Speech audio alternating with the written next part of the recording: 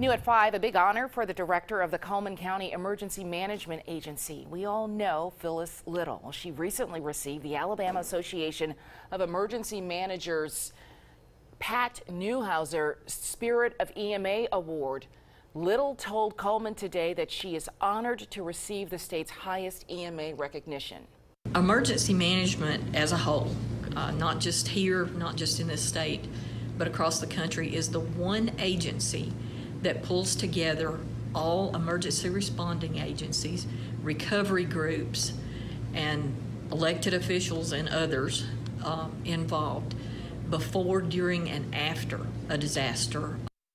Little began working at the Cullman County EMA in 1995, and she's been the director there since 2003.